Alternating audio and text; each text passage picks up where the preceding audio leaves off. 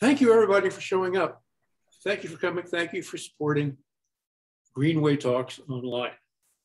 Please help me welcome our speaker for the morning, Dr. Mansi Kasliwal, professor of astronomy at Caltech. Dr. Kasliwal's research group uses two robotic wide field infrared and optical survey cameras at Palomar Observatory as their primary discovery engines. With these, the team is working to map the infrared sky to record the transient infrared flashes that tell us about the life cycle of stars and to develop worldwide collaborations that allow astronomers to characterize discoveries across the electromagnetic spectrum. Having graduated from Cornell in 2004, a bachelor's degree in engineering, Mansi Kasliwal received a master's degree in astrophysics from Caltech in 2006. That before completing her PhD in astrophysics in 2011, also from Caltech. she then accepted a Hubble Fellowship and a Carnegie Princeton Fellowship at the Carnegie Institution for Science. Appointments she held until she joined Caltech faculty in 2015. And as we were discussing earlier, sure everybody knows, a few days ago, Professor Kasliwal and Caltech Professor Greg Hallinan were named as winners of a 2022 New Horizons Breakthrough Prize in Physics. Congrat congratulations, Professor. One personal note I must add, if I may. I should note that Mansi Kasliwal's young son, Viram, is a budding genius. Must, must run in the family. budding genius because he has created a process to produce birthday cakes using 3D printing technology. Ooh. Pretty impressive. Pretty impressive. Anyway, Professor Kasliwal, welcome to the Greenway Talks online at Palomar Observatory. And thank you for taking the time to speak with us today. We'll take questions at the end of the presentation.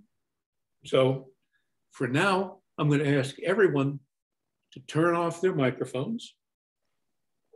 And with that, Professor, please, the floor is yours.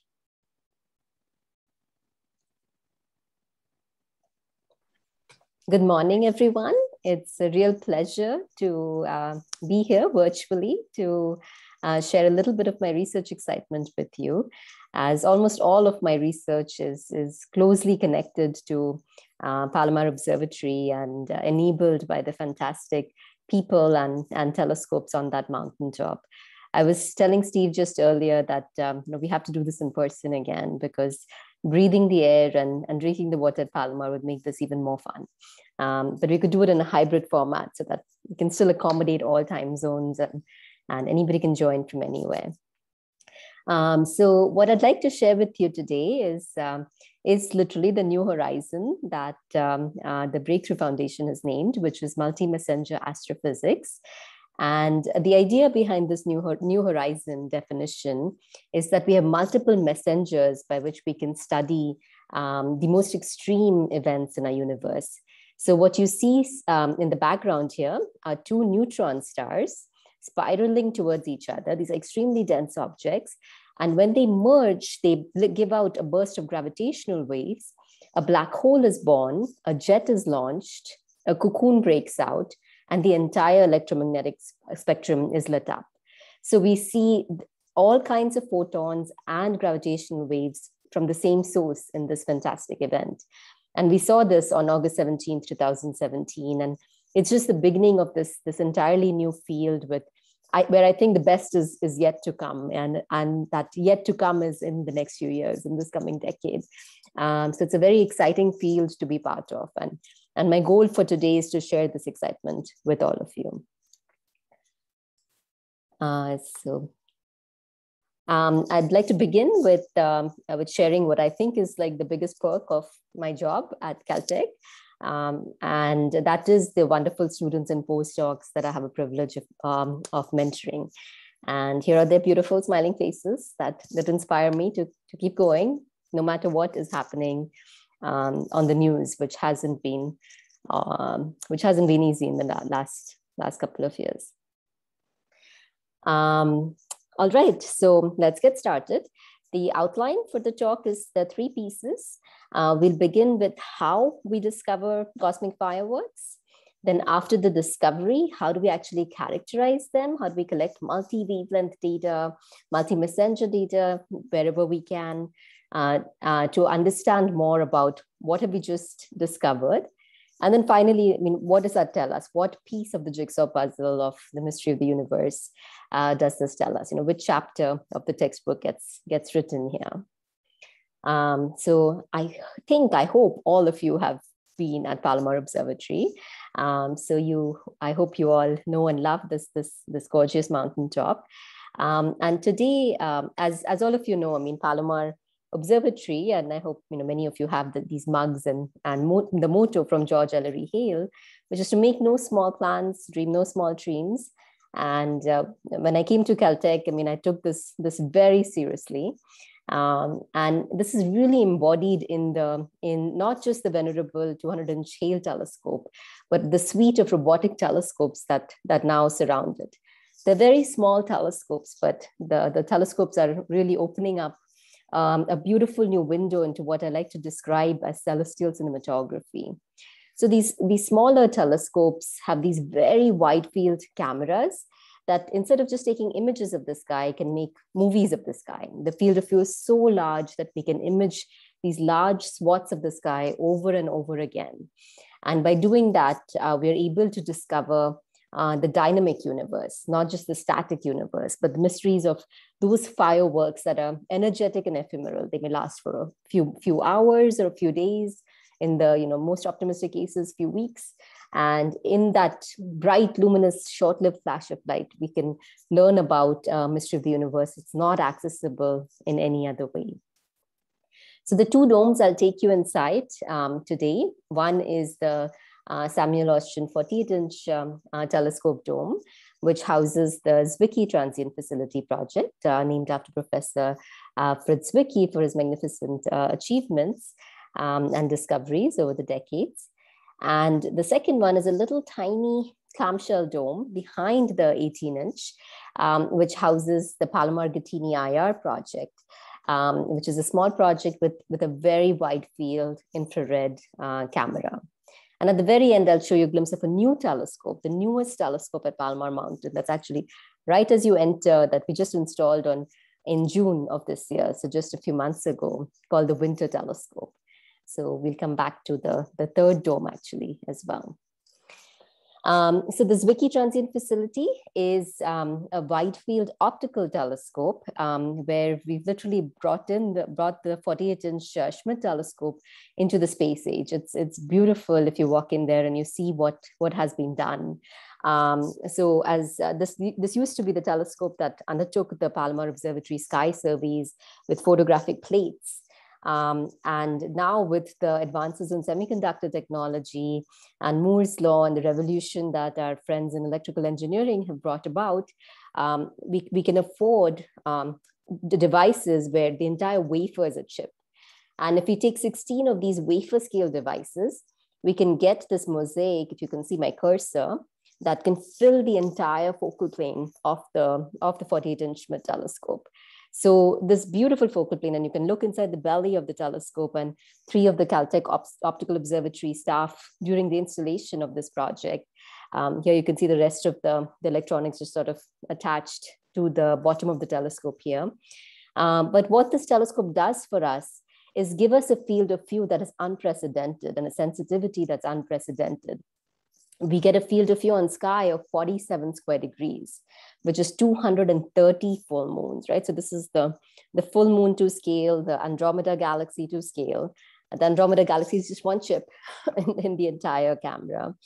And um, this is many fold faster than many other um, wide field optical cameras that are being built. Um, or uh, and some that are already commissioned. And the predecessor of this Zwicky Transient facility was a Palomar Transient Factory, uh, which was my, my thesis project here at Caltech when I was a student. And the way um, you convert this, this big camera into, into science is by learning subtraction all over again. Um, you know, my, my first grade uh, son um, claims he knows all that there is to know about subtraction. He doesn't realize how wrong he is because I had to learn subtraction all over again when I went to grad school at Caltech. So um, in this case, um, the idea is that we're subtracting images. We're taking images of the same sky night after night um, or even hour after hour when we do our highest cadence uh, sprints of the sky. Um, and then when we take these images, we subtract them. But before we subtract them, we need to convolve them, match the point spread function, correct for all kinds of um, effects of the atmosphere, like the seeing, uh, the transparency, um, match the astrometric photometric grids, and really do a do a um, as best a job as we can to optimally subtract these images. Um, because we are now talking about a data volume where we cannot keep up with it manually. It's impossible. Um, the data volume is so large when we are trying to make these movies of the sky that the only way to keep up is by full automation, very excellent, you know, computing skills, data science skills. Um, and uh, so my students are all fluent in Python. Uh, that's a prerequisite of joining my group. And the only way to keep up is that every time you take an image, you instantly process it, you instantly flag using multi-stage machine learning what the new stars in, the, in those images are. What are new point sources that just did not exist even the night before? Um, and here's an example of a supernova in this beautiful uh, spiral galaxy um, that can be identified very nicely by subtraction. This galaxy doesn't change, but that, that supernova does um, in, the, in the course of a few nights. And so um, what this has yielded is more than 5,000 supernovae in just a couple, just since 2018, just in like three, less than three years. Um, and what you see here is uh, actually a movie of um, the supernovae, where the red and the blue represent the two flavors of supernovae. So the um, red are white dwarf explosions, and the blue are deaths of massive stars. Um, so these are the type 1 and type 2 uh, uh, classes of supernovae. But you can see as time goes on, Palomar is discovering supernovae um, in a magnitude limited or volume limited sense. And um, if I keep letting this, this movie play today, the number is more than 5,000 supernovae that are discovered and spectroscopically classified. Um, and many of these um, supernovae are spectroscopically classified actually by the Palomar 60 inch telescope um, using the, the robotic SED machine spectrograph that we have there. Um, and so this creates just this, this fantastic um, uh, juicy data set of um, understanding supernovae in, uh, at the very young phase, at the very fast phase, in the very rare categories. Um, and that's what this Zwicky Transient facility has enabled. Um, and that's all in the optical, in the, in the visible light. Um, the visible light is where you know we've um, we have the the sharpest tools, the best toys, and we've really been able to make leaps, progress and leap by leaps and bounds in the past past few years. Um, the second telescope that I showed you at Palomar, the one in the the clamshell dome, that is an infrared telescope. And you know, the first question you may ask me is, so why bother with the infrared? You know, almost everything about it is is harder. You know, the night sky is so bright, the detectors are so expensive. Um, it's just a much, much harder place to work. So why bother with the infrared, all right And um, I like to show this, this picture where you can see a somewhat you know, boring looking piece of our galaxy and not very remarkable when you look at it in the visible light. It just looks like a dark cloud. But if you take the same image in the infrared, you'll realize it's not boring at all. It's actually a protostellar jet um, that's hidden in there that just because of dust, just because the wavelength of light was not long enough in the visible to go around the dust, was just hidden from our view. So if you want a full picture of what um, our universe has to offer, um, we do need to paint a panchromatic picture. And so um, with that motivation, um, but sort of limited by the, I mean, instead of this, this nice set of wide field optical detectors, in the infrared, the biggest infrared detector that anybody in the world had when I joined Caltech in 2015 um, was the European VISTA project, which was in less than a square degree, it was 0.6 square degree. And they talk about, they're talking about the wide field infrared space telescope, that's a quarter square degree. So even the one square degree mark was not broken, whereas in the optical, we were building this 50 square degree tool. So I wanted to know how we could make that leap in the infrared. And the answer to that was um, the Palomar Gattini IR project. Um, and that has a field of view of not 47, but 25 square degrees, which is still um, a pretty sizable factor of 40 jump from um, all the other infrared telescopes out there.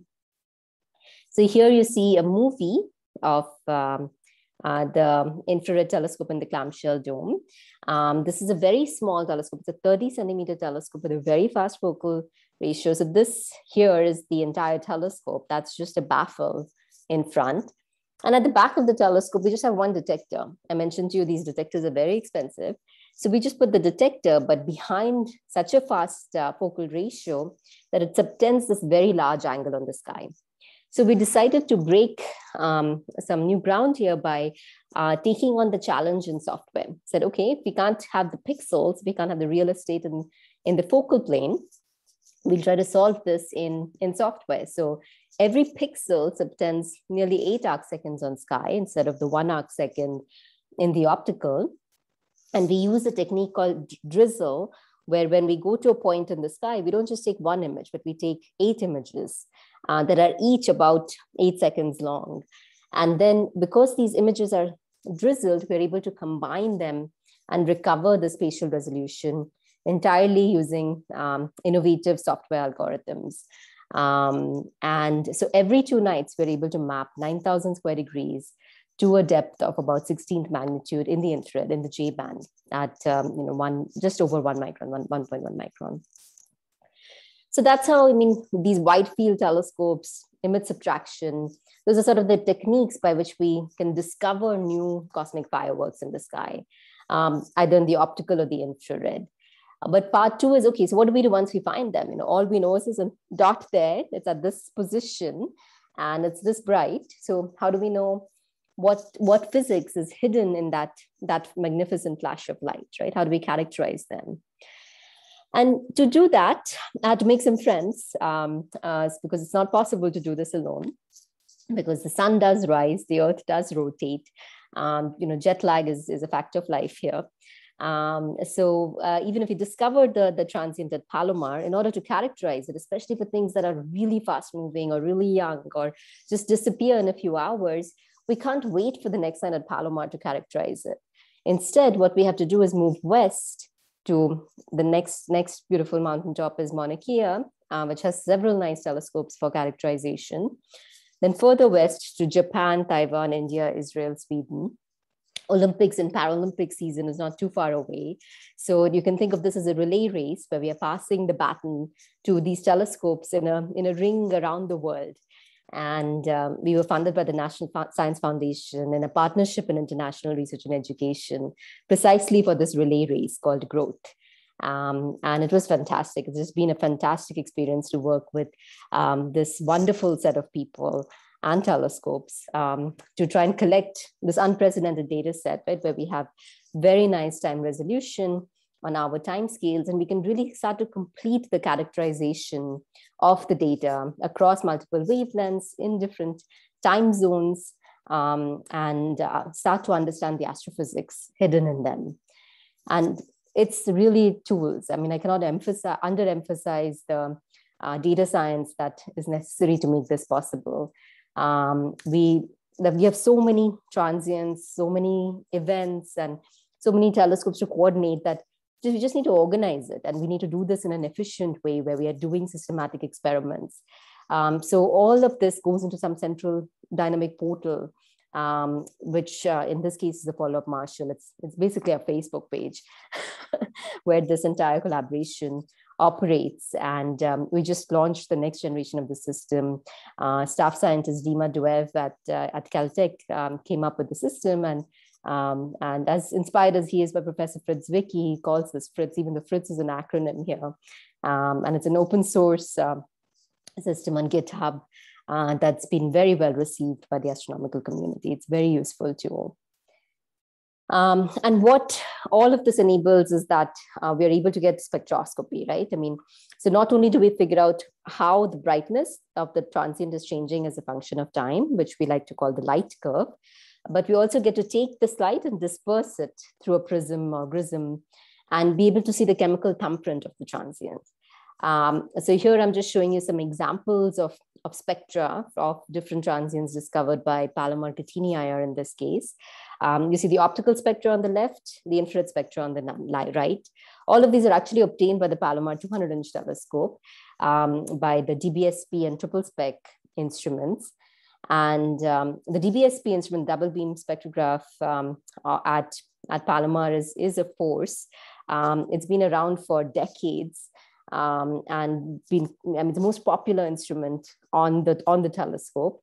And um, what we are doing now is, is upgrading this to uh, an even more powerful uh, spectrograph, given how critical spectrograph is to uh, not just multi-messenger science, but many of the science areas um, that uh, Palomar Observatory um, uh, astronomy community uses.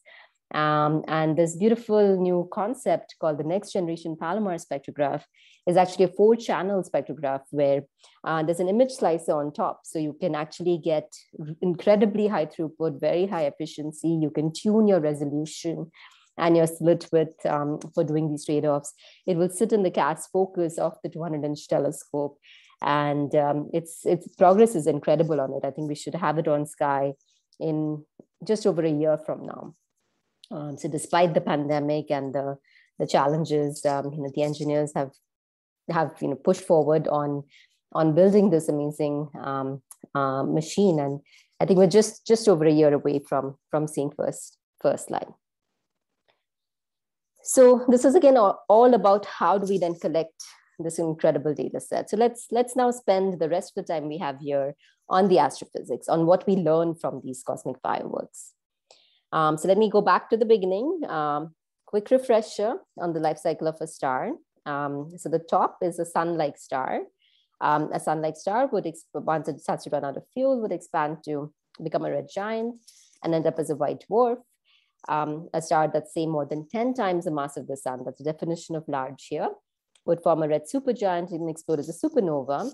The supernova could have you know, three different remnants.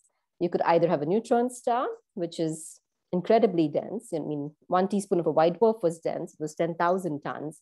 One teaspoon of a neutron star is about 10 million tons. Um, and if that density is not high enough for you, you could you know, study the supernovae that form black holes and really see strong field gravity at its best. Um, or you could study the most extreme supernovae, like the pulsational pair instability and the parent, pair instability supernovae, where sometimes the remnant is just nothing. There's no remnant left behind at all. So now let's talk about each of these three um, fates of, um, uh, of stars and what fireworks that each of them produce. So let's begin with the, uh, with the white dwarfs. They're the most common variety. Majority of the stars um, by you know more, more than 95% by mass or number, however you do do the math, um, end up as as white dwarfs. And if the white dwarf has a companion, um, it can lead to some very interesting fireworks. Um, if you have two low mass stars merge, which happens all the time, there's several hundred of these systems in our own Milky Way galaxy, um, you could find these white dwarf merger products that have these roller coaster like curves. You can see them you know, rise, dip by several hundred days, rise again. Um, and these are all light curves by the Palomar Gattini IR telescope. And what you see on the right is how this white dwarf merger is dredging up this large amount of dust um, from inside. And that's why it is causing these um, to, it to be hidden for a few hundred days and come back um, an increase in, in brightness by you know factor of several hundred here, right? Magnitude, the magnitude scale is logarithmic, um, but it's 2.5 times log base 10 of the flux. So uh, basically, a, um, five magnitudes here corresponds to a factor of 100 in, in flux in intensity of what we are seeing here. Um, and in case you know the white dwarf starts to get greedy and starts to steal too much material from its companion, um, then instead of just you know variable star, um, you could have it completely explode. And if it completely obliterates the white dwarf, if it, it, it actually takes so much material that the thermonuclear runaway disintegrates the white dwarf, then you could get a type 1a supernova. And that's what we've seen 3,000 plus examples of from the Zwicky transient facility. Um, if the white dwarf just steals a small amount of matter, instead of getting um, a supernova that is a billion times as bright as the sun, we can get a nova, which is about a few million times brightness of our sun. Um, and in our own Milky Way,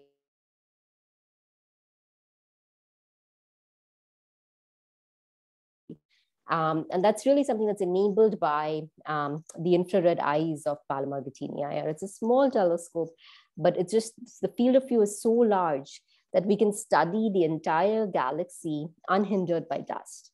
So I'm showing you again these examples of A minus B equals C, right? I mean, the image from tonight minus the reference equals the subtraction. And you see these really bright booming sources, which are classical novae in our own galaxy. They're not very fast. They're very easy to find because once they explode, then for 100 days, you see this really bright light from them. But it's very, very red. You can see its 10th magnitude in the infrared and 18th magnitude in um, in the G band and in say or in or in V band for that matter. And here again, you know, you need the spectra to tell who's who and which ones are the novae. And what we are finding is that um, even though this was, you know, theoretically expected, seeing is is believing here. Um, we are finding that the novae previously they would not make a lot of sense, right? Because if you take a view of our galaxy where we color, where the shading here is shading by mass, right? By how much how much material there is, and that should be correspond to how many white dwarfs are there that could be stealing material from their companion and causing these um, these fireworks to happen. Um, the uh, known classical novae were distributed all over the galaxy. And what we are finding now with, with Palomar Gattini is that they actually do trace the mass. There are more of them where there is more mass, right? Um, so this very simple um, discovery uh, solved a long-standing problem in this field of what the rate of classical novae are, and do they actually trace the mass of the galaxy, and and you know where you know this this was uh, in the words of a nova guru Bob Williams, um, he'd often wondered about classical no, no, novae, like Fermi wondered about intelligent life. You know, where are they? And our answer was they're, they're there, they're extincted. We just need the infrared to find them. And, and we found them. Um, so um, yeah, I mean, so I think, you know, basically, if you if you make new new tools that can open up new parts of, uh, open a new window into our universe, um, we can solve some long-standing mysteries um, when we open up uh, th those eyes. Um, so now I'd like to transition to slightly higher densities. So we're going to dial up the density here and uh, talk about some fireworks, not on white dwarfs, but on neutron stars. Um, and for this, I'd like to, to take you back to August 17th, 2017 at precisely 1241.04 UTC. Cannot forget that date and time. It, it practically changed my life. Um, but in that moment, as I showed you right on that first slide, right? I mean, I, I have no qualms about saying that was my most favorite cosmic firework ever. Um, in that moment, the gravitational wave detectors in, in Hanford, Washington, and Livingston, Louisiana, saw this magnificently long 100 second chirp. Now they detect like one part in 10 to the 22. So it doesn't look like this is really something that You really have to like look carefully and you know do, do your match filtering very carefully. Um, and very importantly, the Virgo interferometer in Italy, even though it would be sensitive to such an event, did not detect this event. So this could tell us exactly where it happened. So even non-detections can sometimes be so important. It's it's um, it's um, you know important to appreciate that about our universe. So and about 1.7 seconds later, after this this merger of these two neutron stars, um, that is that's shown by this white line here. There was a burst of gamma rays that was detected by the Fermi satellite and the integral satellite. So literally at 1241.04 UTC, there was the, the gravitational waves. At 1241.06 UTC, there was already gamma rays. For the first time, we had light, which is photons, and gravitational waves from the same source. And you know, this is the moment where you know my phone rang. Everybody in the growth collaboration woke up, um, saying, you know, I think that you know there is a two neutron stars that just happened to have merged, and there is even a possible associated uh, gamma ray burst signal. And that's just the beginning of the fun in this uh, particular event. Uh, because what happened in the next few hours is that every astronomer pretty much dropped what they were doing and took their telescopes and started searching for more light from this, from this event. so neither the gravitational waves nor the gamma rays tell us where in the sky this happened, right? I mean, it was in this, it could be anywhere in this large area, anywhere in these um, 45 galaxies. And it took the optical and infrared telescopes to pinpoint that it was actually this, the home of this event was this, this particular S0 galaxy called NGC 4993 that was only 40 megaparsec away, right? So only 120 something um, million light years away. Um, and in this particular galaxy, NGC 4993, um, by pinpointing the home of the merger, set off entire networks of telescopes, and not just the growth network, I and that was 17 telescopes worldwide, but 77 telescopes worldwide, and about 3,000 astronomers looking at this point, this localization of, this um, first light from um, the birth of a black hole from two neutron stars merging. And over the next three weeks, we had the most exquisite data set um, from around the world, from, from many, many telescopes, uh, contributing to um, the data. And you can see as time goes on, different telescopes are lighting up and contributing their, their photometry. And uh, the telescopes that you green, see in green here uh, can collect data in the day, and I'll let you guess which wavelength uh, that data is at. Um, but in about three weeks, uh, this event was at 13 hours right ascension in the middle of August, right? So it was really in the wrong part of the sky and very close to the sun. And we had to stop our observing campaign uh, in about three weeks. And it faded so quickly that really it was getting very challenging uh, towards the end of that three weeks to collect data on this event. Um, but what we did in those in those um, first few weeks was um, uh, stay up all night to collect data and then stay up all day to write the papers and understand what all of this means. So not, not sleep very much at all. Um, and it was amazing, actually. I mean, the data set was just, just exquisite. And what we found and was that we were actually seeing literally red-handed half the elements in the periodic table, heavier than iron, being synthesized. So I spoke about supernovae before, right? Supernovae make elements, the lighter elements that are shown in light blue or dark blue, depending on which flavor of supernova you're talking about. But everything you see in yellow here, right? That is something that comes from, um, sub, uh, from rapid capture of free neutrons, the R process nucleosynthesis, which until 2017, we had many ideas of where they could happen, but we hadn't actually seen it happen. And in this particular example, with the, the data set that we had, we saw a very bright blue flash. The blue is again, these are again light curves, so intensity as a function of time. We saw these very bright blue things fade in the ultraviolet in a few hours, um, in the optical for you know a few days, but in the infrared for several weeks. So we saw something rapidly redden. And this really was, was the clue that what was happening here could not be explained by uh, iron group elements, could not be explained by lighter elements. This is something where uh, the photons are having such a tough time escaping because they're getting distracted. They, are, they have to be getting distracted by elements where which are very, very heavy, where there are many, many possible line transitions. So they're just sort of bumping around electrons in, in all kinds of random energy levels because there's so many of them, such that by the time they escape, it's the, the whole um, emission is very opaque and brightest in the infrared. So this rapid reddening and this infrared bright event that we saw, um, the only way to explain it was that we were actually seeing R process happen.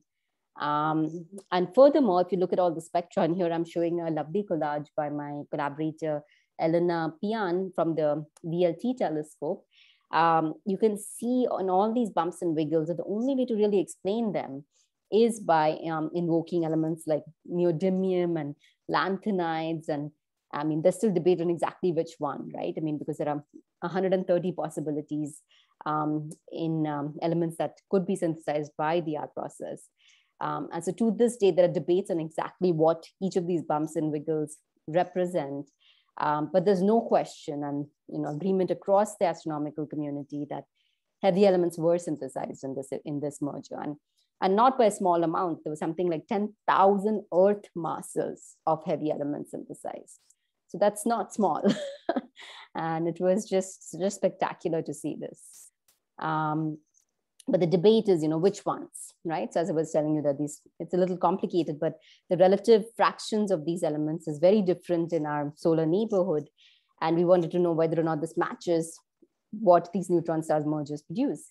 Are they one of the sites of R process nucleosynthesis or are they the one and only site, right? Um, so those are sort of the questions we are, we are grappling with right now. Um, and some, in, in my mind, you know, one most important question is, did we make some heavy elements uh, or did we make the heaviest of the heavy elements? If I go back to the periodic table here, um, if, you, if you look at, say, the lanthanides, right? I mean, they're down here. Um, if you look for silver, it's up here. If you look for gold and platinum, uh, they are um, here, right? In the, in the periodic table. So the question is, did we get to that third peak? Did we get to the heaviest of the heavy elements in, um, in that 10,000 earth masses? Was there even 10 earth masses of gold and platinum, right? I mean, uh, this was something that was of great interest to you know my parents, and that was an element they actually recognized. Neodymium and lanthanide didn't care, lanthanum didn't care too much for, but they wanted to know whether the heaviest of the heavy elements were actually made here. And um, uh, what we found with this um, image that I was showing you here from the Spitzer Space Telescope is that, in fact, even 43 days and 74 days after merger, there was definitely some emission here and possibly you know, three sigma levels of emission here. And these two data points are, some, are right now our only clue as to whether we actually did strike gold because these heaviest elements have the longest radioactive half-lives. So they can stay bright for long enough. If you look in the red enough wave bands here, and this is now four and a half microns um, that we're looking at. Um, so, uh, so there's a hint that maybe we actually did synthesize all of these elements, but I would say it's still an open question. And in fact, I mean, if you really try to squeeze out as much information as you possibly can from those two data points, um, uh, we can narrow it down to about eight elements that are dominating the emission based on how much light there is and what their half-lives are. Okay, um, so changing gears for the third time, um, I wanted, want to go dial up the density even more and just take the last few minutes to talk about some fireworks that involve black holes even before uh, in the merger process. So neutron star black hole mergers, black hole black hole mergers. Um, and as we all, um, I hope have heard of, right? I mean, on September 14th, 2015, um, we detected the merger of um, two very massive black holes. These are about 30 solar mass black holes. And um, when these two black holes merged, they emitted a loud signal of gravitational waves. Now, instead of a 100 second signal, that was only a you know, three second signal. Um, but yet in this merger of two, two black holes, about three solar masses times c square of energy was converted to gravitational waves. Um, and this amazing um, feat, which was you know many decades in the making, and that several thousand physicists working really hard to for, to make you know impossible seemingly impossible detections possible um, led to the 2017 Nobel Prize in Physics um, uh, to um, my very senior colleagues at Caltech, Barry Barish uh, and Kip Thorne, and of course, MIT professor um, Ray Weiss. Um, but black holes, when they merge, um, they're amazing. They, they lead to Nobel Prizes, but they don't do as much justice to the rest of the electromagnetic spectrum. Um, so while I was super excited, this was you know two weeks after I joined Caltech uh, that this happened, and I mean it was certainly a, a fantastic start to to be to see this the scientific revolution happen in in front of my own eyes. um, I was waiting for there to be again, you know, some neutron stars in the mix, right? And that the two neutron stars had to wait till 2017. Um, and I just told you about that. But what happens if you have one of each, right? If you have one neutron star and one black hole, what happens if they merge? Do they even exist? And um, this was a question that um, until 2019, right? So we went 2015, two black holes, 2017, two neutron stars, and 2019, a neutron star plus a black hole. And neutron star plus black hole, honestly, it was completely a, um, a figment of imagination before 2019 because we don't have any astrophysical probe of such a system, right? We can't see them in, in, in independently in the X-rays or at any other wavelength or in the radio, or any other, there's no other form of emission that we've been able to track down these events. Yet in the most recent, the third observing run of um, the gravitational wave observatories, they found a few examples, um, at least three, and maybe a few more that are still in the works, um, of neutron star black hole mergers. And it was amazing because if this happens, then uh, theoretically, if the neutron star comes close to the black hole, um, it could get shredded so far, so much that you could get an even more bright um, infrared signal because you could produce definitely produce the heaviest of the heavy elements in much much larger quantities. So it wouldn't be so difficult to tell, as we saw with the two neutron stars, whether they are good factories for the heaviest of the heavy elements. It should be in your face um, with these events. So uh, my team got very excited about these neutron star black hole merger discoveries. And every time there was one, we uh, looked at it with this Zwicky Transient facility, with Palomar Gattini IR, with any telescope we could get our hands on, the dark energy camera uh, telescope at the CTIO 4 meter, uh, to try to look for the light associated with these neutron star black hole mergers. And what we found, despite every time we looked, was that in these you know, three or more cases, um, was that there was just nothing there. Um, and we had you know mapped this however we could you know with every time zone within a few hours within 14 hours within 20 hours. Um, in fact for an event that happened on august 14th 2019 uh, the localization was very good. It was as good as for the august 17th 2017 event two years ago. So if there was some light like there was for the gravitational wave event on August 17, 2017, we would have seen it, but we could rule it out, right? Because you know these brave postdocs in my group, Igor and Danny, they they looked at the data forwards, backwards, and sideways, and didn't see anything there. And the same data set was analyzed by different groups of scientists, and there's just nothing there, no matter how hard we looked. So um, I'm going to skip this in the interest of time. So the only thing that we were left with is that um, if there's really, really nothing there, then could the neutron star be swallowed whole by the black hole? So maybe there was no light when a neutron star merges with a black hole. And um, that could happen. In fact, for that particular August uh, 14, 2019 event, um, on that day, the, the neutron star was only about um, you know, a couple of solar masses, about three solar masses, actually, to be precise but the black hole was 20 solar masses. So it was just much, much bigger than the neutron star. So in this situation, because we have a very extreme mass ratio, that's this Q parameter, there's a lot of possibilities for completely black, right? You get wiped out because the black hole just, just eats up the, the neutron star in one fell swoop. But in the rest of the possibilities, right, if you have lower mass ratios, if depending on how, you know, how quickly the black hole is spinning, what the composition of the neutron star is, in most cases, you know, you still expect to see a very, very red source that rapidly reddens, right? So even though the first, you know, three events here, it's been a bit um, discouraging because it seems like the black hole is just eating it up. Um, I think it, it just means that the, the problem is harder. Maybe we're not going red enough to actually detect um, the emission. Um, so chasing after this very red emission, um, the Gattini telescope, as I mentioned to you, is fantastic in terms of its large field of view, but it's limited in terms of its sensitivity because the aperture of the telescope is only 30 centimeters. So to look for this ubiquitous, luminous, and long-lived emission, I've been working on sort of the next generation of infrared surveyors. And just in June of 2021, just a couple of months ago, um, uh, right after you know the first time that Andy let us go to Palomar, we installed the a new telescope called the Winter Telescope. Um, and this Winter Telescope is a one meter telescope um, that is inside this dome. You can see the 200 inch at the back actually. Um, but we were able to install, successfully install the, the telescope. Um, the, cam the infrared camera is not yet ready. That's something we're still building in the lab. Um, we're hoping for the sensors to get de delivered any day. So we, we might be just a few months away from being able to get a sensitive enough wide field infrared telescope at Palomar um, Observatory to be able to look for this neutron star black hole merger emission. Um, and at the same time as we're doing this, my um, collaborators on the Gattini project, uh, Professor Anna Moore and Tony Travouillon um, at Australian National University, they secured a grant to build a sister telescope uh, to winter called DREAMS in, at Siding Springs Observatory in Australia. Um, and it's just fantastic. I mean, they haven't, um, they're also delayed by the pandemic right now. All of Australia is in lockdown.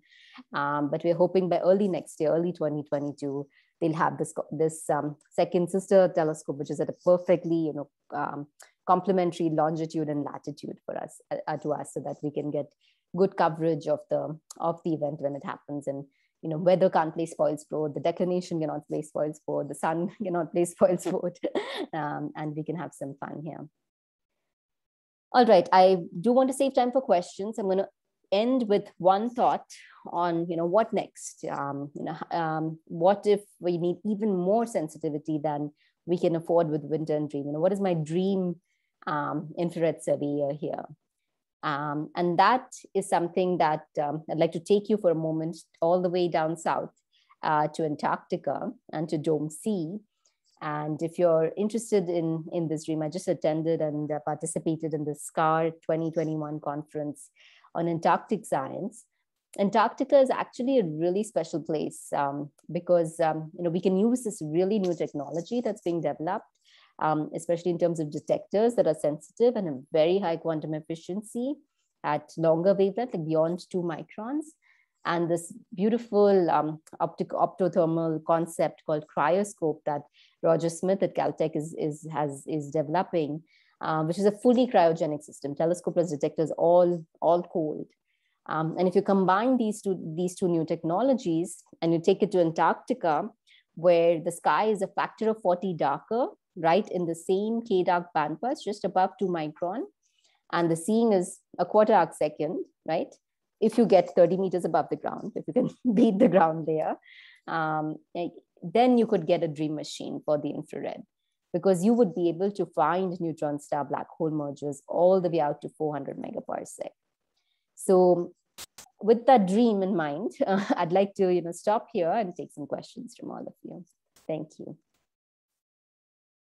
Professor Kasliwal, thank you very much. That was a wonderful presentation. And thank you for communicating so, so, so wonderfully communicating the excitement of discovery and participation in science. Thank you. Thank you very much. And open the floor to questions, please.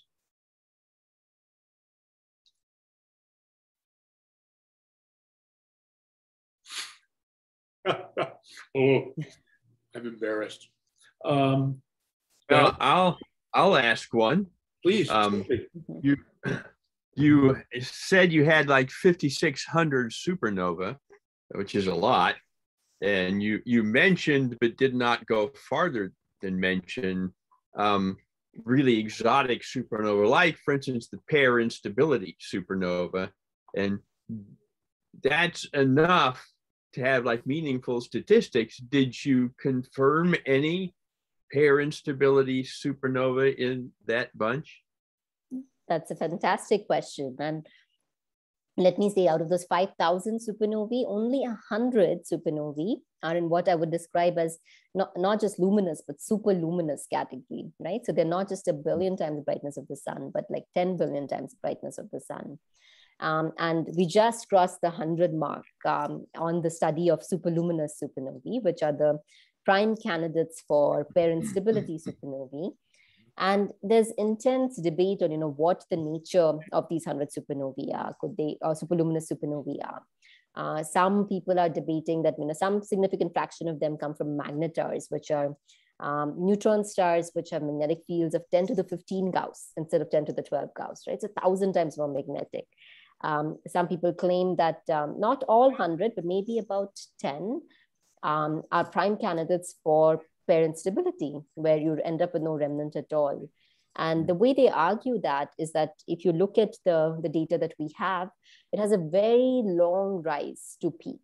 And it produces a heck lot of nickel. Like, I mean, it produces like five solar masses of nickel and nearly like tens of solar masses of ejecta. So the star itself had to be like more than 100 solar masses to actually even explode in this very, very luminous and very, very long lived light curve. Uh, So I would say there's not um, um, there's not slam dunk evidence, in there isn't one event for which the entire community is like, this is it. Um, and there's no other model, there's no other way to explain it except um, pair instability. But there are about 10 cases where I think there's a very compelling um, uh, data set that suggests that this, this does happen. Um, and the real proof of it would be if we could, uh, if we could see and um, this happen somewhere it, it, happens so rarely it's very difficult but if you could see it happen in our backyard and in our local universe and we could nail that there really is nothing there uh, to very deep limits i think that would be that would be compelling but we'd have to wait a long time before we see one of these in our backyard. Right now the 10 events that we have are a little bit further away um, so we can't um, um, confidently tell with no, no shadow of doubt that there is nothing there uh, but they're quite compelling. So I think the, the search goes on. okay, okay, thank you.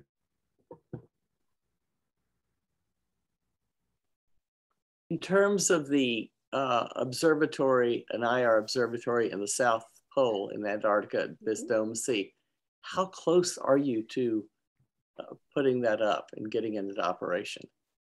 Oh, a very first step. ah, okay. Just at the point where um, you know we have a concept. Techn- technically, it's very feasible. Uh, we are starting to get the community excited about it, building up the community. You have to raise the funds for it. It's not. It's an expensive project. Uh, the Antarctica is not an easy place to get to, um, and um, so I would say we are probably if all goes well, if all goes per plan, and somebody write, does write us that check, uh, then I'd say we're five years out. Five is from the location. Is there a station there already, like there yes. is at the South Pole for UCSD's telescope? Yes, yes. So there's a French-Italian base. Um, so they have the necessary infrastructure. And we have some collaborators in France and Italy that are quite excited about this project. Uh, so it would be a, you know, sort of, uh, there'd be at least four countries involved, which is the US, France, Italy, and Australia in this, in this project. Thank you. If they build it, will you go to Antarctica yourself?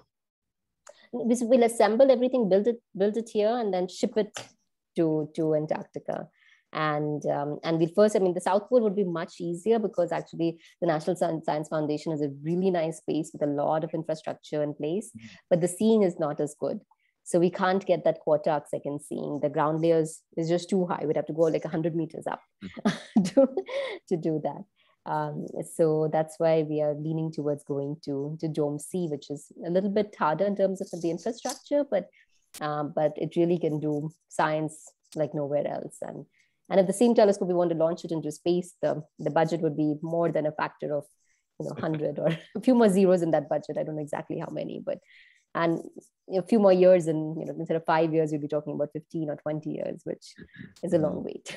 so um, and it's just quite amazing actually that we can get space-like sensitivity from the ground. And the only thing we have to do is, is go far south to beat that in that particular bandpass at 2.25 micron. Professor, I'm a little curious about the your your detectors go out to about two and a half microns. Um, I'm curious what the detector technology is that you're using and and uh, how much you cool them. Yeah, um, that's a great question. It's actually molecular beam epitaxy on silicon. Um, these are detectors that um, Don Figer is developing at the Rochester Institute of Technology. And the quantum efficiency curve that I showed you, that was at about 70 Kelvin. So we don't need to go too cold. Actually, it's, you know, I mean, it is, it can be cryo cooled to very satisfactory um, uh, levels so that that doesn't require any maintenance, right? Because we make these fully robotic systems. So we don't want to be going and filling in the liquid nitrogen or any such thing, right? We want it to be a completely um, self-sufficient unit that can op operate robotically um, all night. Um, and in Antarctica all night in the winter means 24 seven, right? For six months because of the location. Um, so yeah, but the detector, and it, it, honestly, it was just a few days ago that um, uh, Don uh, Figer received these detectors in his lab and measured these QE curves. Earlier, he only could get that 95% quantum efficiency to two micron, and he's just been able to push it to uh, to uh, two and a half um, in this newest batch of detectors that he got in his lab just a few just a few days ago, so just earlier this month. Uh, so it's very exciting. So, uh, so we and this was sort of the um, the these two technologies, right? The, the fully cryogenic technology that's being developed at Caltech by Roger Smith, and this, these detectors that Don Figer are developing. These two technologies have to be proven before we can go to the next step of of uh, conceptualizing the, the full system. Thank you. And please, please call me Mansi. And professor's too too too big a word. Mansi. Got it. Thank you. Other questions? Somebody? Anybody? Okay. I'd like to ask one if I might. Um, in acknowledging the New Horizons Breakthrough Prize you wrote that mentoring students and postdocs is the biggest perk of my job. Okay. Very true. Um, as as you as as you went through your education, your training, um, first at Cornell, and then at Caltech, did you have did you have a mentor that a person that was particularly important, particularly critical to your success? Definitely. I mean, I don't think I would be here today if I wasn't uh, lucky enough to work with some really fantastic people. At, at Cornell, it was Professor Jim Houck and Professor Richard Lovelace. Um, at Caltech, my PhD advisors, Professor Sri Kulkarni, in fact, I mean, um, I was working on, you know, weak lensing and observational cosmology in my first year at Caltech. And it was a drive to Palomar um, with Professor Sri Kulkarni that, that really convinced me to do uh, time domain astronomy. And that's that first trip to Palomar is where I fell in love with the telescopes, right? And and realized that oh my god this is like this is something that we could just have so so much fun with and um, and this is something I can't stay up all night for, right? I mean, this is this will keep me up at night. and uh, like so we're Professor, doing tonight.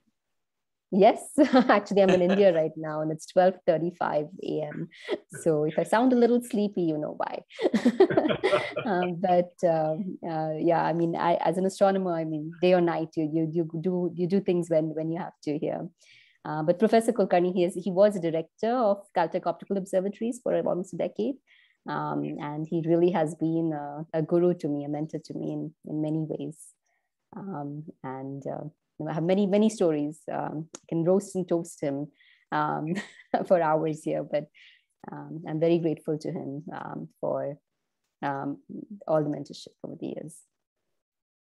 Well, thank, thank, thank you very much for that. That's that's that's wonderful to know that mm-hmm. background. That um, yeah. I think and, Andy was saying something, Steve. I thought I, I think Andy was asking a question, but we don't hear you, Andy.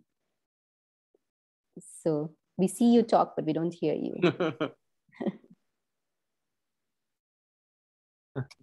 Interesting. I saw him see move his lips, but I didn't hear anything. So I just want to make sure. You're, you're not muted, but you're not getting any voice either. Yeah, microphone's Yes, it's a new feature with a new microphone. Sorry about that. Aha. Now we Um, I can ask this question anytime, but since we've Mm. gone to the trouble of embarrassing me publicly, I'll go ahead and ask it now.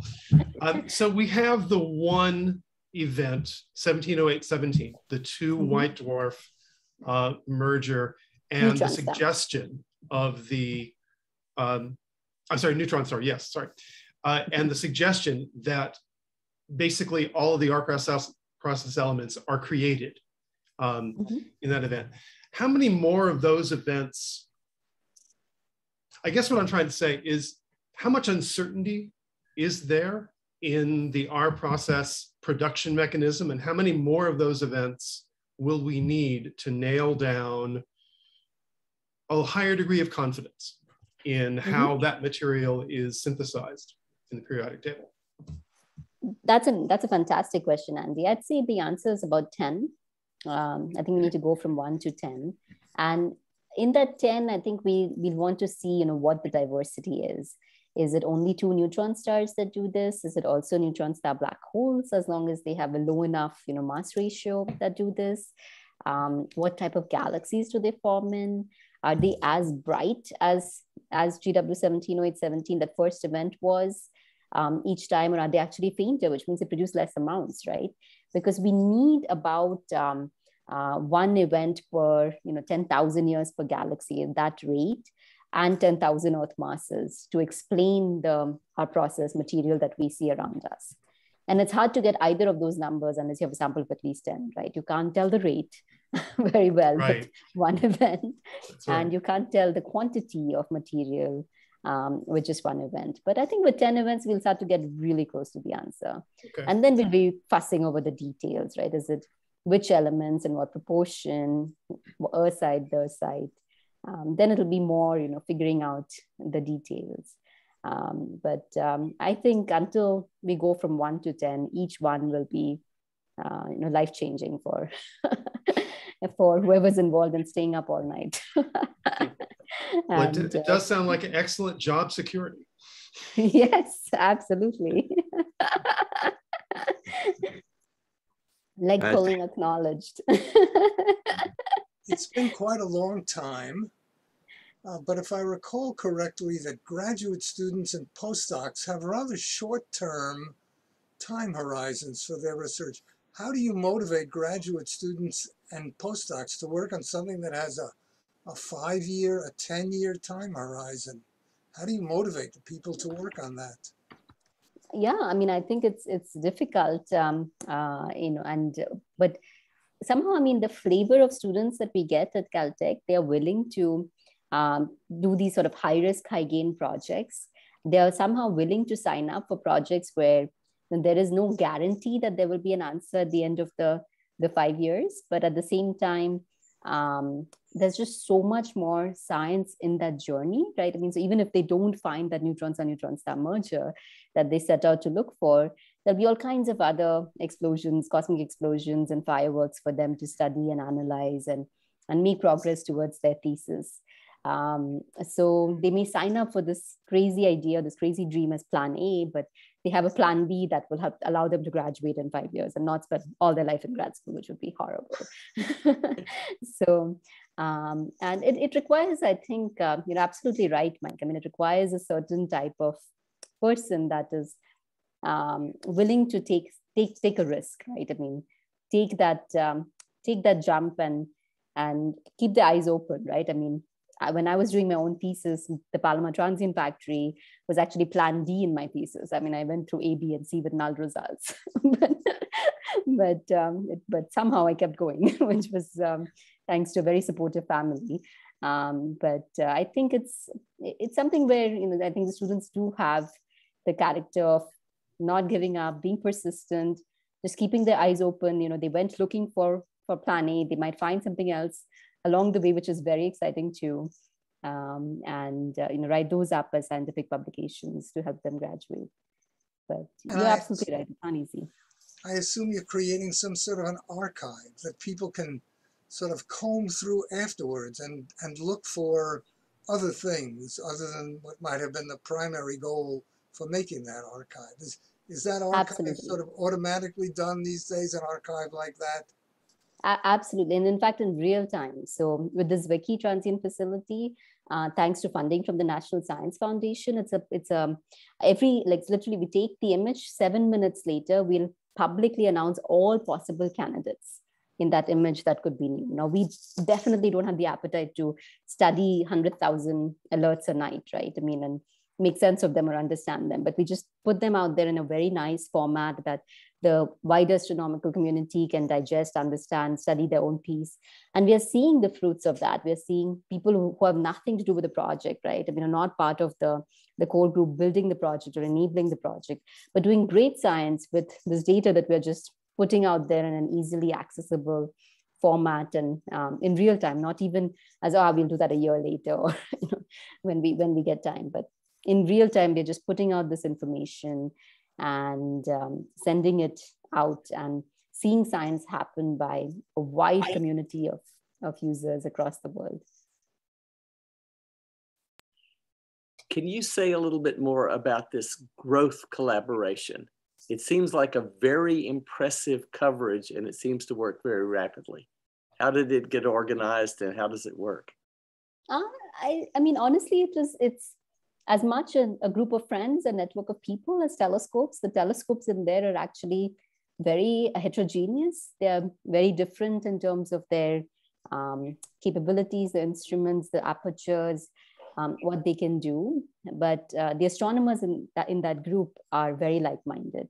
Um, and you know, when I put together this proposal for the National Science Foundation, um, I think everybody who was part of this believed that this was a very long shot and it's uh, very unlikely that NSF will actually support something um, like this because it was before the detection of gravitational waves and we were promising not only detection of gravitational waves but also light associated with it. And most people thought that was impossible when we wrote the proposal back in 2015 um, uh, so I, I think that um, the um, we're very grateful for um, what um, uh, the, the, the funding that we had to organize the collaboration and so that everybody could have students, postdocs involved and, and their telescopes funded to a level where we can collaborate very efficiently and effectively.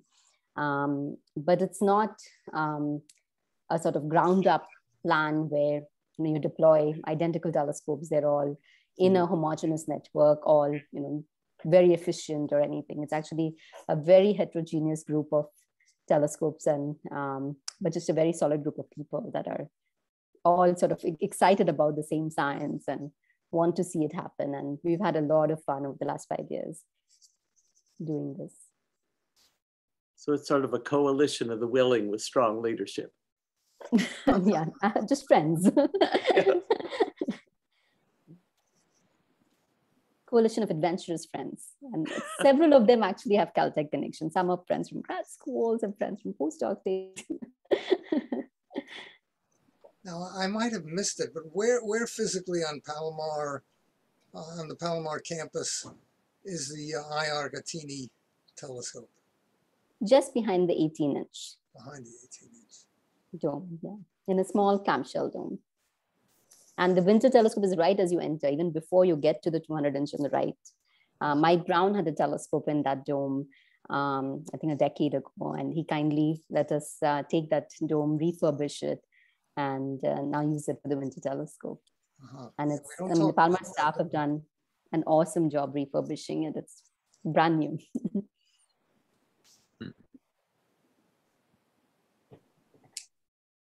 Burton? Hmm?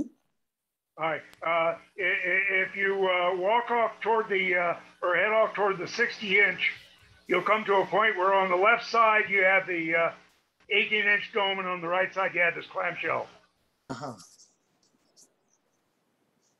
If we're ever allowed up onto the mountain again. If we, yeah, yeah. Yeah. Andy, that's a question. I'm Careful. sure, Andy, I'm sure Andy will allow us up onto the mountain sometime in the Someday, future. someday, someday. Just never leave. I, I'm sorry, so. Mike, your, your audio is breaking up. I can't quite make up what you're saying.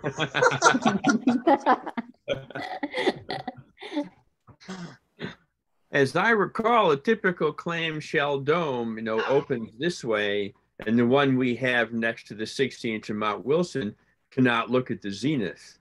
So if you've got the research telescope in the clamshell dome and you can't look at the zenith, isn't that kind of a problem or does the dome open in some other way? Yeah, no, no, it's not not not quite. I mean, a clamshell. Actually, I think I, I think some people on the mountain like to call it the doghouse dome because it just There- opens completely. So there's no There restrictions. is a historical designation for this building, and it is not clamshell.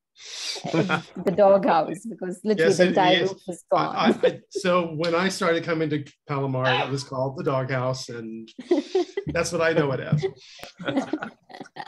Okay. But yes, you can see the zenith. yes, no problem. Good. Other things, other questions, anybody? Nobody wants to embarrass Andy again?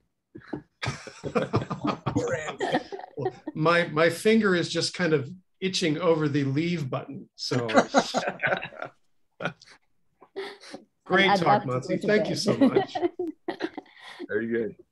Well, can I, can I, I guess conclude with, with a question, a little bit, little bit different subject, but uh, a couple of days before the announcement of the Breakthrough Prize, Caltech had another announcement um, that came out concerning, well, the title of the announcement is A Black Hole Triggers a Premature Supernova.